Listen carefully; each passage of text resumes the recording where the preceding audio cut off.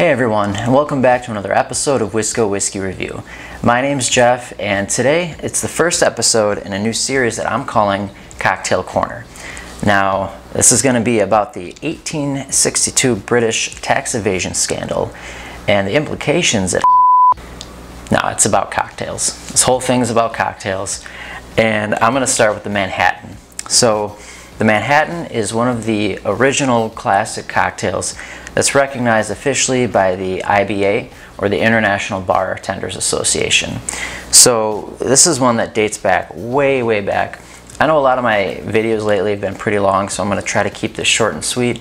But I do want to give a brief history before I kind of go into this, show you how to make it. Um, I think it just adds to the experience. Um, I don't know if that's just me, but I'm a history buff and I like that stuff. Uh, I'll add chapters of this. You can skip ahead if you want to skip the history bit. But just to kind of go over that real quick, um, this was invented circa 1860 to 1880. Nobody knows for sure.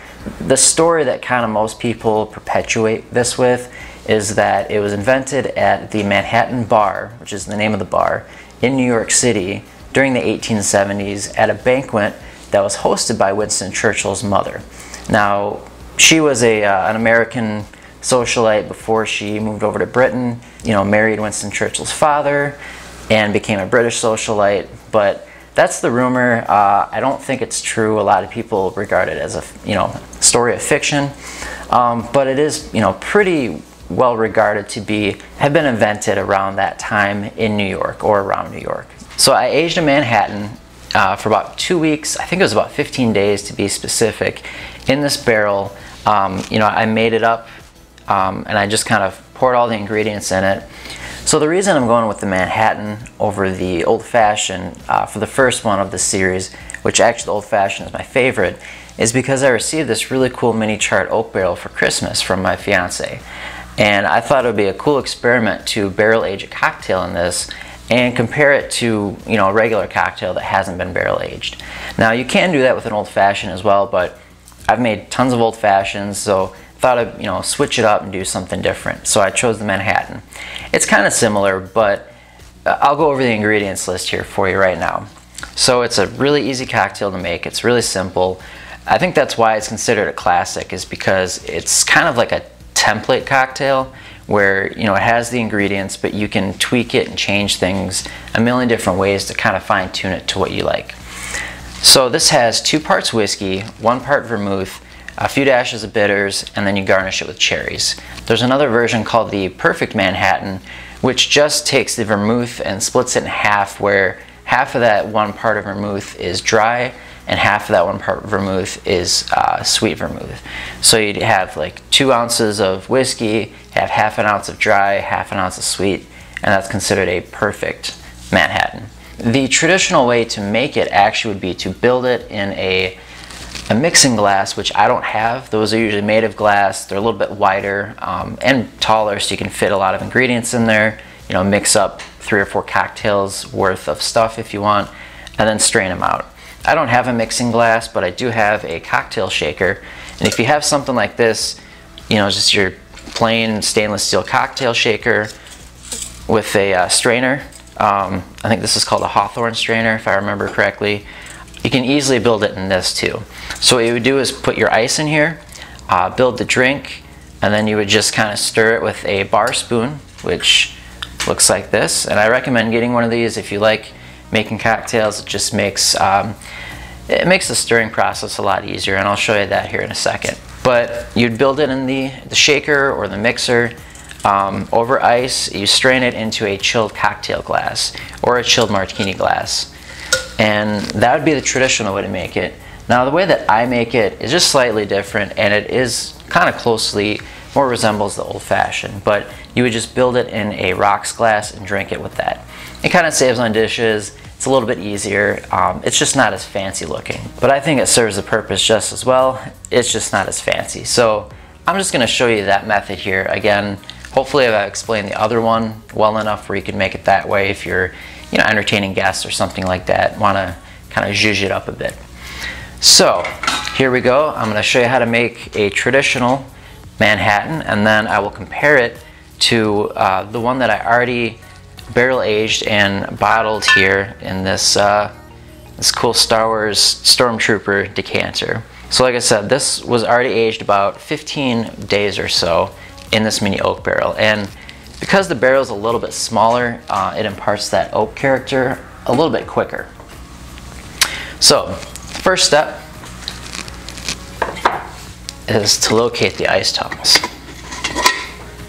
All right, I finally get to use this ice container.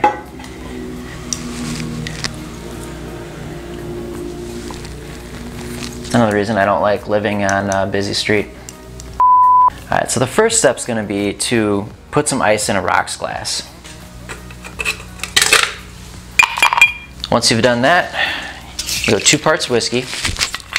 And I'd also like to mention that I used, I'm using the same exact ingredients that I used for this Manhattan, which was barrel aged, as I'm making this one with too. So I'm using Evan Williams Bottled in Bond uh, white label, it's 100 proof. It's aged at least four years. I believe it's in that you know four to five range, maybe six. I figured this was a, a you know really good whiskey to kind of make this with. It you know the proof stands up to everything else, mixes well with things. So you can use any kind of whiskey you like. Uh, you can use rye, like I stated. You can use bourbon. I just tend to like bourbon. It's a little bit sweeter of a flavor, so that's what I went with. All right, so two ounces of bourbon. You spill a little bit like I did, that's fine. Just uh, seasons the, the cutting board here a little bit.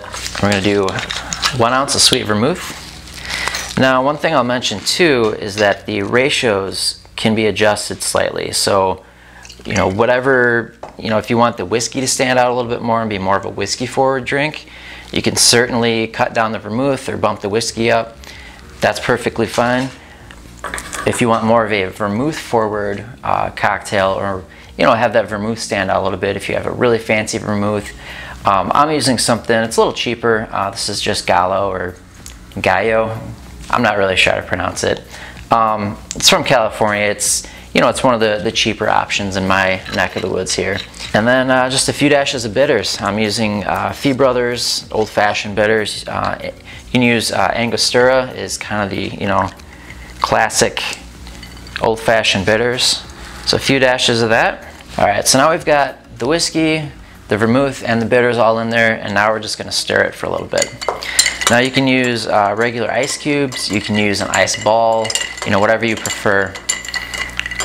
Um, but this bar spoon is really nice because um, it's kind of, the, the pattern in the metalwork allows you to get that nice uh, stirring action so that essentially you want the, the face of the spoon or you know the top of it facing the inside at all times. So essentially you're rotating the spoon and that kind of keeps everything together and centered without making a mess. So uh, you can use a regular spoon. You don't have to have a bar spoon here, but um, it is important to stir it, um, you know, at least for, I'd say 10 to 30 seconds.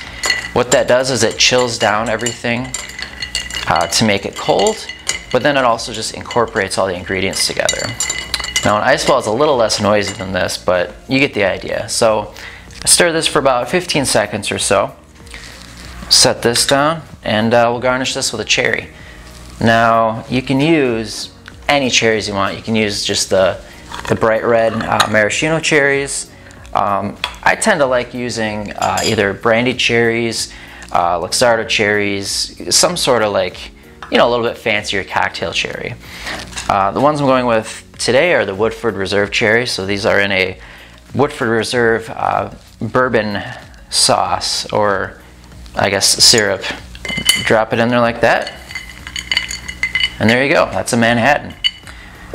So what I'm gonna do now, I'll let this sit for just a few seconds.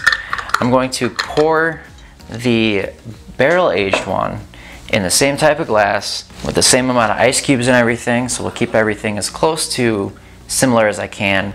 Put some cherries in there and then I'll compare them. All right, so here we go. We'll just pour this over ice. It's the weekend, so you know, what's two cocktails, right? Put some cherries in here.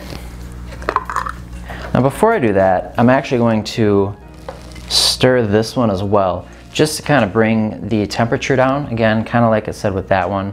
Um, it just helps dilute it just a little bit, bring it down to temperature so that it chills it nicely. All right, so now we have our two Manhattans here. Now this one, again, was traditionally made just with uh, your vermouth, your whiskey, your bitters, ice, and garnished with cherries. The one on the left here, or I guess would be probably you're right if you're looking at it, um, is the barrel aged version. Now again, I made it with a two to one ratio of the exact same whiskey, the exact same vermouth, the exact same bitters. Um, the bitters you kind of have to you know, kind of math it out a little bit to figure out exactly how much you want to put in there to taste. But all three of those ingredients went into this barrel when I barrel aged it. And again, that was 15 days of aging. So let's look at the color here. Um, you know, they're about the same. I wouldn't say that it's a whole lot darker. You know, I'm, I'm not really sure.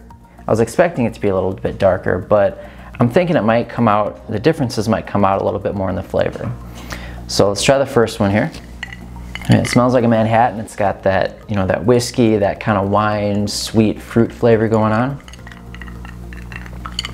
Yep, that hits the spot. That's a Manhattan. Yeah, like I said, I think any kind of bottled in bond bourbon just really shines through and stands out on its own on this cocktail. Again, you can use whatever whiskey you want. I've heard rye is really good if you want kind of more of a spicier, kind of herbal uh, taste going. Um, but for me, again, I just like that sweetness that bourbon offers. So now let's try the barrel aged one. All right, so even just from the nose alone, I can tell that there's a big difference between the two of them.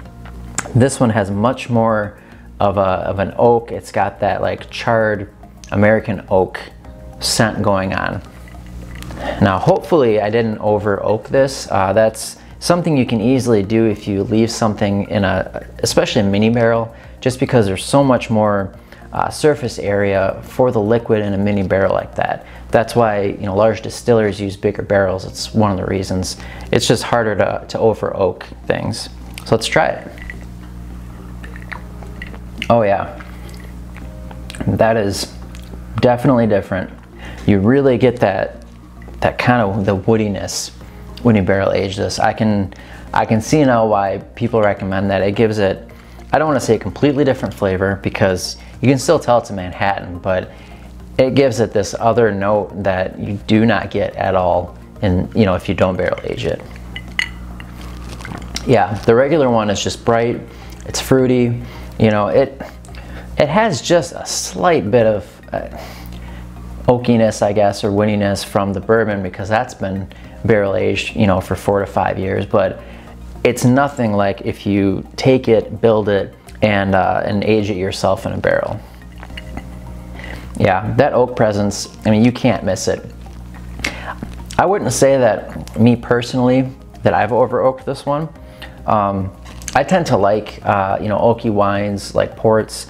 Um, I tend to like that, that char flavor. So to me, this is really well balanced. It's really nice again, just that extra step, you know, and these I, I believe are, you know, probably around that uh, 100 $150 range, maybe a little less, maybe a little more.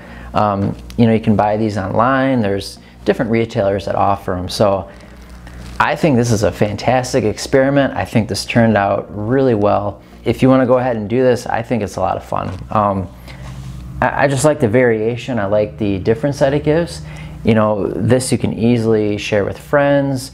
Um, they make bigger barrels than this too, so you can experiment with different size barrels and you know maybe build the same thing in it and see kind of what that does. I guess to kind of wrap this up, you know, um, this is a Manhattan. Again, it's two parts whiskey, one part sweet vermouth, uh, a few dashes of bitters, and garnished with cherries. It's pretty simple. You, know, you can mess around with the ratios, you can mess around with different, um, adding different ingredients, different liqueurs, you know, just a quarter ounce of something here, half ounce of something there, you can really make it your own. So thanks again for watching guys. Uh, please like, comment, subscribe down below. Uh, if you really like Manhattans, if you have a variation that you know you make that you really like, uh, share it down below. You know, i am always looking down for uh, try new recipes, try new cocktail uh, recipes and everything. So thanks for watching. Um, we'll go with the barrel aged one here. Cheers guys, keep on sipping.